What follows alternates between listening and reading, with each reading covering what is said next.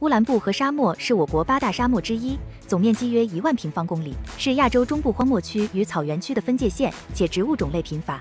但令人意外的是，世界唯一的沙漠有机产业体系就建立在这环境严酷的乌兰布和沙漠中。七月五日上午，台青黄河游记采访团一行来到了位于乌兰布和沙漠中的圣木有机牧场，了解包括有机环境、有机种植、有机养殖、有机加工在内的一体化沙漠有机循环产业链。